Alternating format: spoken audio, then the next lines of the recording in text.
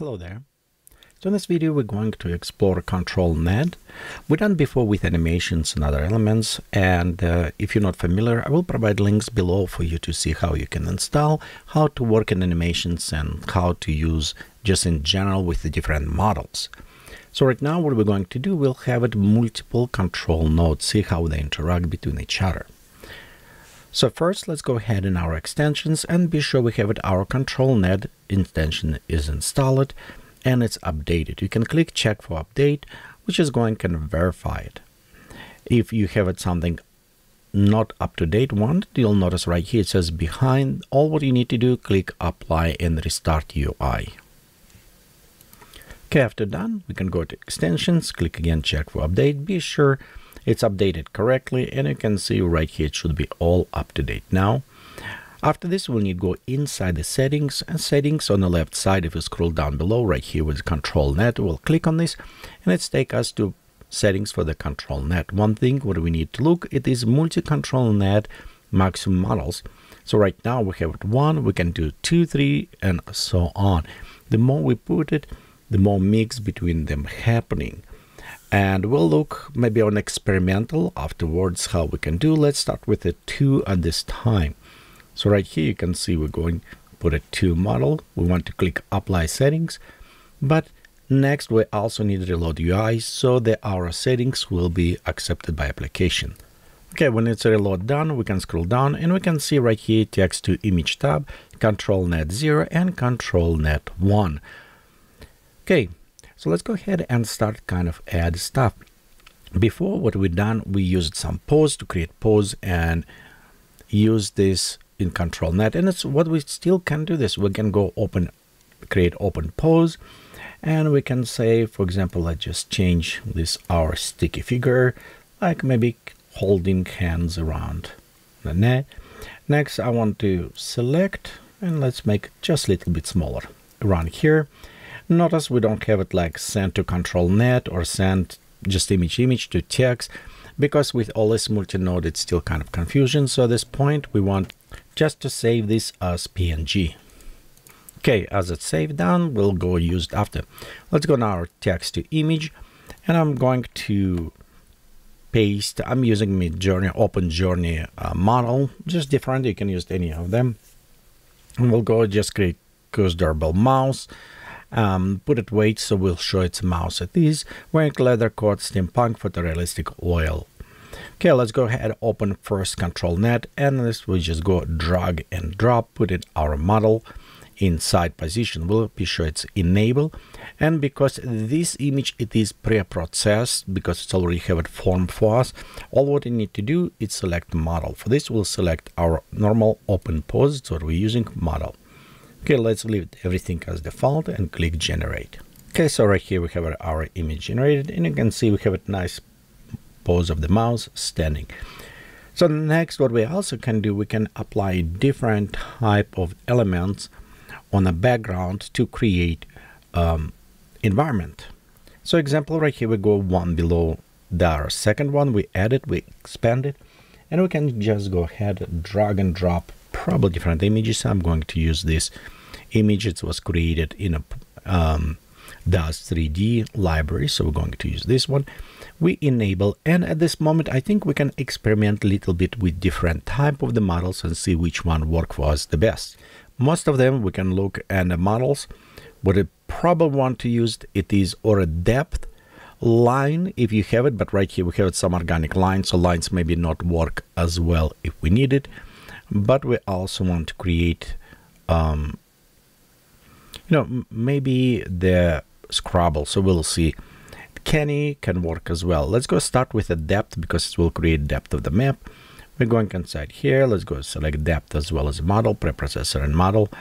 Notice we don't have it any of the old libraries, so it's kind of will be randomly. We want to specify place. And you know what? I should have done this maybe a little bit before. Let's go ahead and um,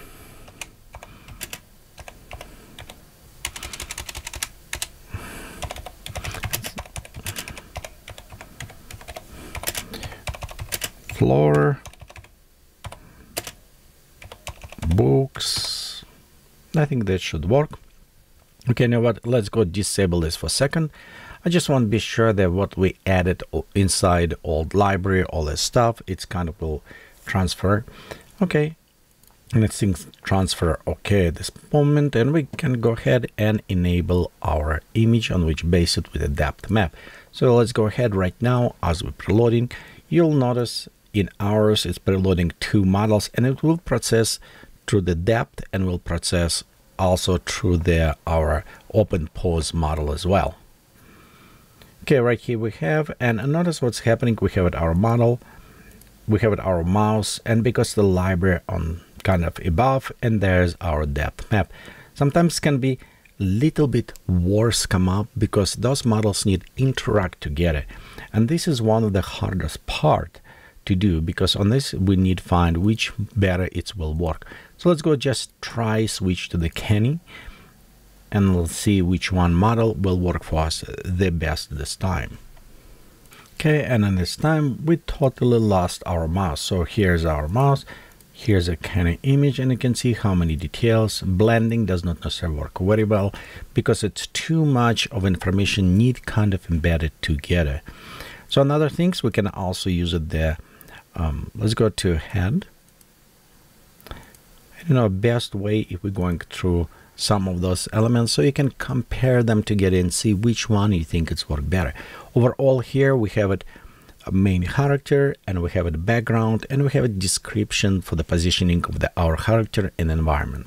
And we can see it's definitely work a little bit better. So if we preview this our model, this is outline because outline is in properly areas with environment and we can see our mouse a little bit better inside the, our environment. Okay, let's go ahead and we'll also try MSD. This is more as a single lines will be um, creating architectural other things. I it's nice when in this model work in some elements, but um, it will be kind of like blocky, I think, when created. But again, I do like this render that was actually created. It's very nice integration.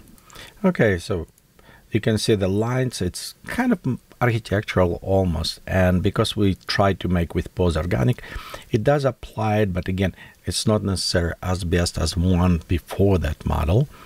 And of course let's finish with a few. Normal map it's we kind of will won't work very well.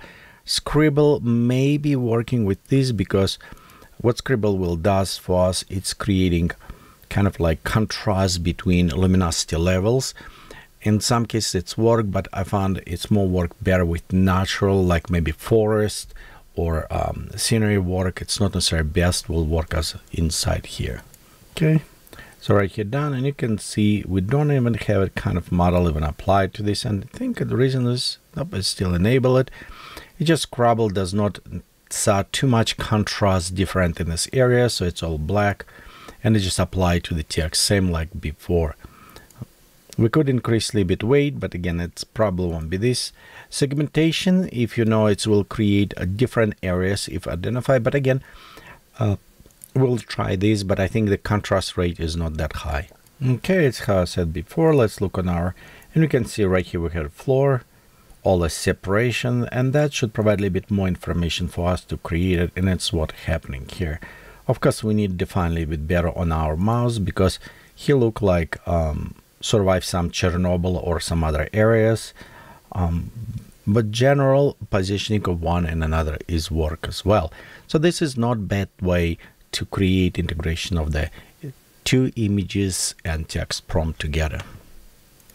And this is not bad way when you try to implement text in other ones. However, I found if you just go to image and image, what we done before, we'll take our library, put it as an image, paste our information. Go inside enable control net. Zero will take our image, upload it, enable, switch the model to open pose, pop up pause a little bit higher, and as well we can just a little bit reduce maybe the noise to about five, five, five maybe.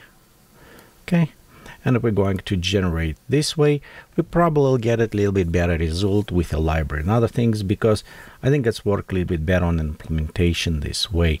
So it is very nice to use it um, the control net with a multiple nodes and it's probably um, kind of fun when you're creating integrations but if you're interested as replaceable ground, I think image to image perform a little bit better at this point so then my next experiment what I try to do it will have it multiple nodes and run animations so but this is will be in another video. Thank you for watching. Let me know what you think. If you like it give us thumbs up subscribe share the video help this channel grow and I greatly appreciate all your support